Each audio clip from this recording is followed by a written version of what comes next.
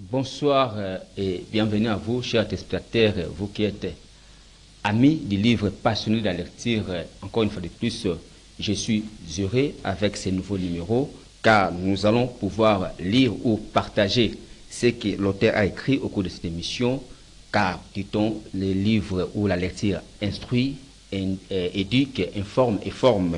Pour cela, un invité sur ce plateau, il est jeune mais costaud dans le monde du livre avec ses idées, bien sûr là il faut le souligner, avec ses innovations. Donc, euh, Paluku Si Yagosola Aristote, il est écrivain, analyste social en psychophilosophie artistique et mathématicien révolutionnaire. Auteur de cet ouvrage qu'il a titré 137 citations pour une conscience éveillée. C'est un renfort idéologique à la jeunesse africaine, parce que ça, c'est le rôle des livres qui vient faire parmi les jeunes ou dans les jeunes. Donc, Parlou Siagosola, Aristote, bonsoir. Oui, bonsoir, euh, monsieur. Je rappelle que vous êtes écrivain, analyste social, psychophilosophe et, et mathématicien révolutionnaire. Oui. Auteur de cet ouvrage de 137 citations, vous l'avez euh, titré L'éveil de la conscience africaine.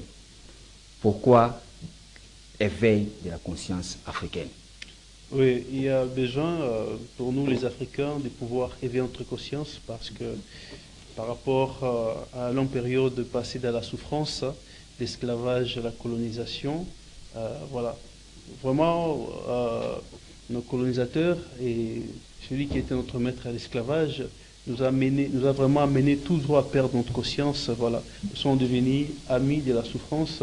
On n'a pas, on pas réellement besoin de se libérer dans notre façon de faire les choses.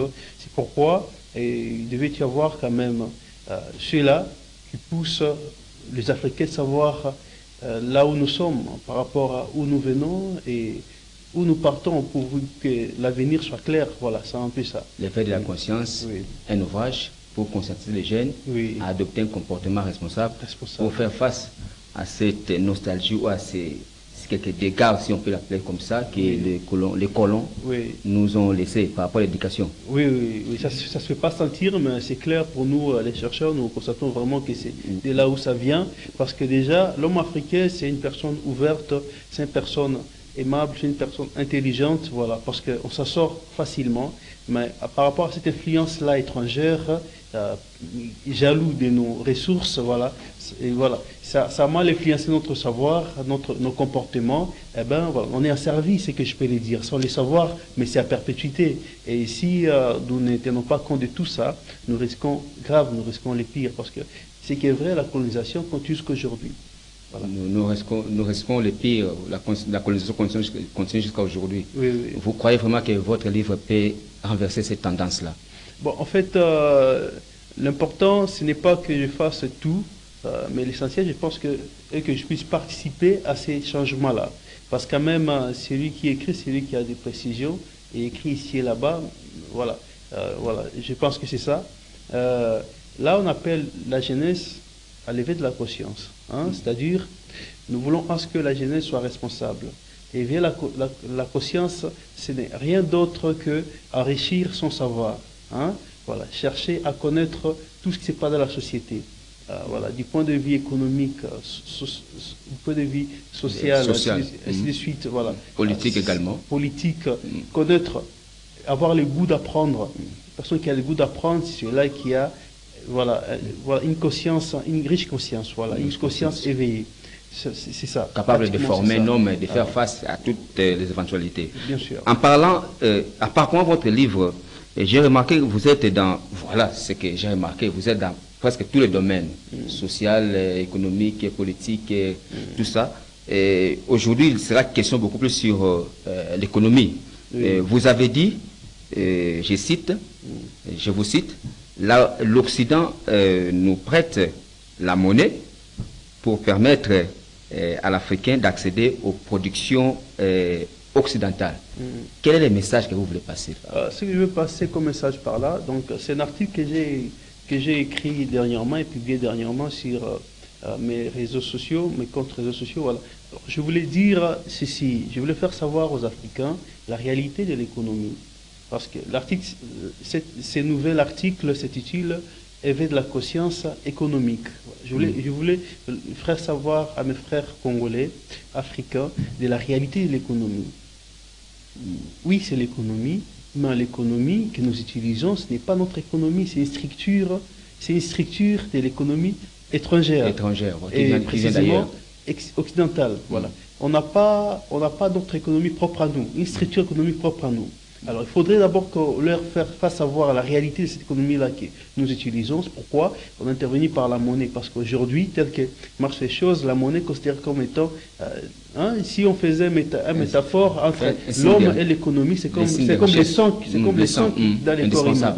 Voilà, c'est pourquoi on voulait d'abord leur signifier hein, la réalité de la monnaie étant dans la monnaie, il n'y a pas de l'or, mon frère. Il n'y a pas de matières, il y a pas de matières euh, précieuses dans, la monnaie. Je voudrais même citer que ce sont des bois qui viennent de l'Europe. Hmm. Des bois, oui, oui, oui, oui ça, vient, ça vient de morceaux de bois, bien sûr, ça vient des végétaux, la monnaie. Euh, ce n'est pas une autre hmm. chose que ça, ce n'est pas de l'or, ce n'est pas les signatures, et la valeur. Voilà. C'est ça. C'est-à-dire, l'homme donne l'accord d'acheter ses productions tout ce que vous allez fabriquer, il y a l'influence de l'Occident qui est dedans. La machine, donc, ça, ça, revient toujours à lui. Ah. C'est pourquoi c'est lui qui donne hein, cette monnaie-là pour qu'on accède à, à, productions. Voilà, c'est un peu ça. D'ici et ailleurs, c'est comme ça. C'est pourquoi vous allez voir hein, tout ce que nous consommons au quotidien, 90%, 99% si je peux le dire comme ça, provient de l'Occident. Parce que même lorsque vous bâtissez votre propre maison, parce que ici, euh, chez nous au Congo, euh, voilà, vous allez vous rendre compte, c'est moi les logements peut-être copiés à un bailleur qui est euh, congolais, mm. mais tous les autres biens que nous, utilisons, que nous achetons, mm. sont, des biens qui proviennent de l'Occident. Et même cette maison-là nous, dont nous sommes bailleurs mm. pour, pour donner les logements à nos frères congolais. Voilà. Ces maisons sont construites par des matières qui viennent d'où? De l'Occident. Le vitre, de suite, on ne va pas citer. Donc, donc valablement, nous dirons que le système monétaire actuel, euh, donc euh, c'est défini, la monnaie, c'est l'accord de l'Occident euh, nous permettant d'accéder aux productions occidentales. Le 30, hein, c'est aussi la journée internationale des, des parents. Hmm. si, parce que ça aussi c'est votre domaine de prédilection, oui. sur l'éducation des enfants. Est-ce que vous pouvez placer un mot, euh, même pendant un tout petit mot par rapport à ce, au rôle des parents, entre ces rapports-là, les parents et les enfants euh, dans notre société? Oui, au fait, l'éducateur d'abord, les parents, les enseignants. Les enseignants. Mm. par rapport euh, à ces, à ces, à ces, à ces rapports-là, je dirais facilement que les parents, les parents, il faut, il faut, il faut qu'on puisse créer un lien d'amitié avec les enfants pour bien les éduquer. Mm que ce soit les parents, que ce soit les enseignants. Parce que lorsqu'on est méchant envers les enfants, euh, ce n'est pas bien. Et surtout, euh, la cause, euh, la cause, c'est parce qu'on est, on a des, on a des difficultés autre part qu'on veut mm. maintenant se défouler sur les enfants. C'est très important ce que vous avez dit. Hein. Alors, on est très stressé pendant la journée. on n'est pas du tout comme les Européens. Pour, ils sont tout temps avec, avec un tel attachement avec les enfants, tout ça. Mais nous, ce n'est pas le cas. On est colérique. Et, encore. C'est pas pour l'éducation, c'est pas pour. Hein. Oui. Et encore avec, euh, avec, euh, avec les difficultés sociales que nous éprouvons au Congo, mm, mm. vous voyez les parents devenir très, sévères envers, les enfants et aussi les enseignants aussi euh, euh pareil à l'école. Mm. voilà, ils deviennent aussi très colériques envers les enfants. Alors, les enfants sont innocents. Sont innocents. Alors, c'est pourquoi et d'ailleurs, c'est difficile pour un enfant euh, de, saisir une éducation euh, brutale. Voilà. Pas, ça ne passe pas, là ça ne passe pas. Ça devient un peu compliqué parce que la femme imite facilement. La femme imite facilement qu'il qui, n'écoute, voilà. Il imite facilement, mais il écoute difficilement. Difficilement. Voilà. Donc, il faudrait un peu qu'on soit amis avec les enfants. Et sûrement, on connaît beaucoup, ils auront besoin toujours de recourir à notre connaissance et dans cette, cette relation d'amitié, bien que parentale, bien que éducative, voilà. Euh, les messages vont toujours passer, l'éducation va toujours passer. Nous, Africains, on n'est pas toujours dans cette, on n'est pas à l'aise dans cette peau-là d'être avec très conciliant ou très tolérant ou donner le chèque en blanc à son enfant parce que là on risque, on risque de, vous, de traiter de, de, de, lâcheté, de lâche plutôt parce qu'un enfant, un enfant il faut toujours surveiller surtout quand il s'agit d'une fille.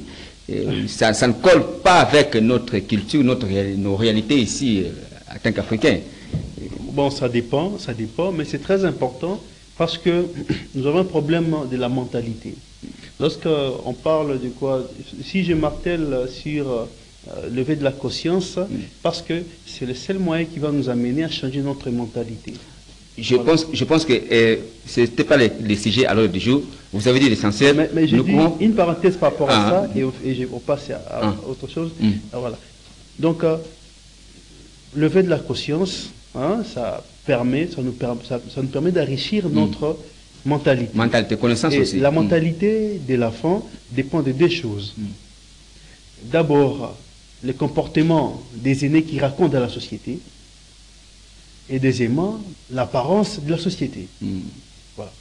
Si c'est que l'enfant garde à lui, alors si tous ces deux situations-là sont pauvres, alors l'enfant grandit avec une mentalité qui est évidemment pauvre. Voilà. Justement, l'enfant risque de grandir avec une mentalité pauvre. Mais euh, nous rentrons maintenant dans le sujet, parce que si vous voulez avoir, avoir les détails sur cette question, sur l'éducation des, enfants, ça se trouve toujours dans le même euh, ouvrage, 137 citations. L'auteur, vraiment, c'est un as. Hein. Moi, j'ai eu à parcourir ces livres. Il y a bien des choses là très, très intéressantes pour euh, mieux s'auto-former et former aussi euh, enfants, les, instruire. Pourquoi pas? Donc, il y a des petits détails là que vous pouvez. Donc, procurez-vous ces livres. Là, je vous recommande. Donc, là, c'est ça vraiment très intéressant. Je continue. Nous revenons à notre euh, sujet euh, du jour. je suis maintenant à la page 2. Vous définissez la monnaie. Je cite. Hmm, c'est du papier portant le sceau et la signature de l'homme blanc. Elle gagne de la valeur parce que les producteurs exigent que doit faire le gouvernement congolais ou euh, la population pour contourner ces manœuvres? Oh, En fait, euh, bon, la voie ethnique, c'est déjà une Parce qu'on a toujours cette, cette pensée-là, euh, nous, population, mm. ainsi que le gouvernement ou les, les, les gouvernants, oui. d'avoir beaucoup plus de liasses de billets mm. que d'aller euh, avoir des, comme vous avez dit, oui. de la production. Bien sûr. De la production. Bien Ce sûr. sont les deux concepts-là qui sont en train de, se chercher ça et là, comment se dé les départager. Bien mmh. sûr. Bon, mmh. en fait, euh, je dirais ceci. Euh, comme on, on le dit souvent, que l'arc-en-ciel représente Dieu. Vous voyez? Donc c'est ça la monnaie. La monnaie, c'est comme l'arc-en-ciel. Et les dieux de l'économie, c'est quoi? C'est la production. La production. Donc lorsqu'il n'y a pas de production, euh, la monnaie ne sert à rien. Vous la monnaie ne sert à rien. Alors c'est pourquoi, c'est pourquoi, bon, je veux faire, je vais rendre un peu hommage à nos héros. Mm. Ils ont fait leur part des choses en nous montrant la voie et la, que nous devons, en nous montrant les besoins de notre liberté. Vous voyez mm. Alors, ils, ils, devaient, ils devaient bien sûr faire vraiment ce qu'ils ont fait là, soigneusement, alors euh, pourvu que nous, aujourd'hui, nous ayons un combat qui est abordable. Voilà. Et ce qui nous reste maintenant là, c'est libérer, libérer euh, économiquement et culturellement. Voilà. Voilà. Et culturellement. Vous, vous... Alors, alors, pourvu qu'on puisse, pourvu que notre gouvernement puisse contourner cette euh, oui, dépendance-là, il faudrait, il faudrait, ouais. il faudrait qu'on puisse produire. Et là, je parle dans, dans l'article, là nous sommes dans l'article mm. avec de la conscience économique. Mm. Voilà. Dans, dans ce nouvel article, voilà. je parlais d'une notion étant la, euh, la nationalisation économique. Mm. Donc il faut, il, revient, J'en profite pour vous dire que oui. vous, vous, nous faites aussi le résumé, hein, parce que nous, nous sommes déjà presque, nous tendons vers la fin. Très bien. Le résumé de l'ouvrage. Très bien. Euh, Mais nous sommes dans un sujet économique toujours. Très bien. Ah. Euh, il revient au gouvernement de pouvoir, de pouvoir hein, les producteurs et les ingénieurs capables de produire des biens et services que produisent les étrangers. Voilà. Et là, je pense que nous, nous serons facilement contournés à cette, cette affaire-là. Et là, je pense, je pense la monnaie que nous allons imprimer chez nous ici aura une valeur quelconque.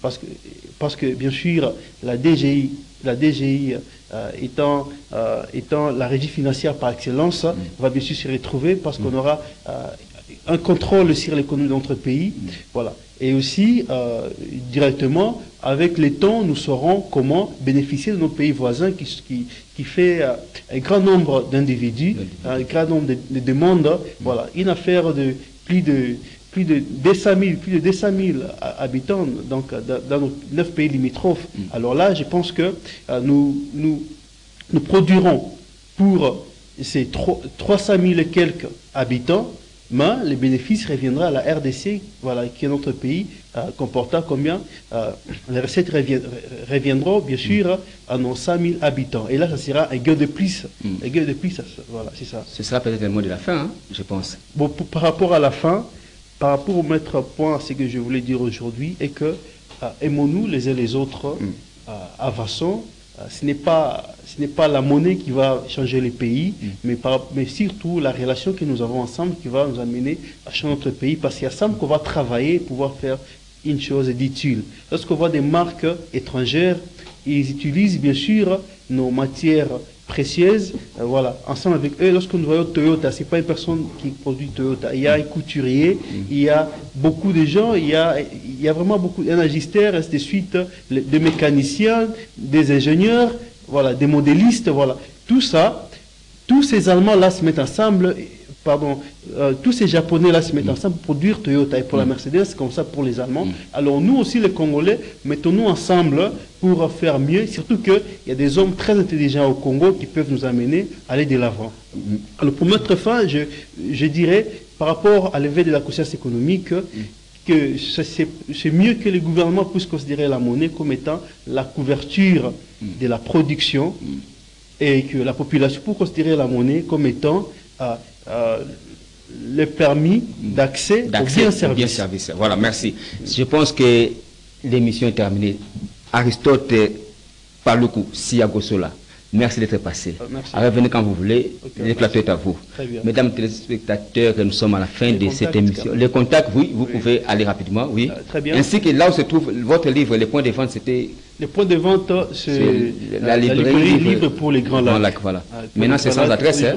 Maintenant, maintenant c'est sur une- une- 24, une- sur 24, sur 24. et l'autre c'est proche, Euh, à face, en face de- de- vers de la banque ville, Tembe. Euh, à face du Tembe. Euh, vous donnez rapidement les numéros. Alors, euh, on me trouve sur les Twitter Mm. et sur tous les réseaux sociaux. Voilà, je suis là pour, con- pour causer avec la, Pour jeunesse. La jeunesse, c'est une histoire très sérieuse auquel nous, on se donne pour s'y mettre parce qu'on passe au demain euh, étant un homme d'État. Merci.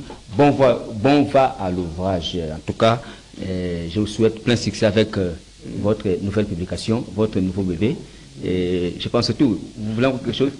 Bon, le numéro de téléphone, c'est Ah, le dis oui, 081 allez. Mhm. 351 51 60. Ok. Euh, mon email, c'est aristotepaloukou.gmail.com. Ok, d'accord. Mesdames et messieurs, nous sommes arrivés à la fin de cette émission. J'étais accompagné ou j'étais euh, sur ce plateau, pas tout seul, mais j'étais avec un invité. Il s'agit de Paluku Siyagosola. Aristote, un écrivain analyste social en, en psychophilosophie artistique et mathématicien, révolutionnaire, auteur de cet opus qu'il a titré 137 euh, citations pour une conscience éveillée. C'est un renfort idéologique à notre jeunesse. Pour aujourd'hui, nous sommes euh, arrivés à la fin. Je vous dis merci de votre attachement toujours renouvelé et bye bye à la prochaine.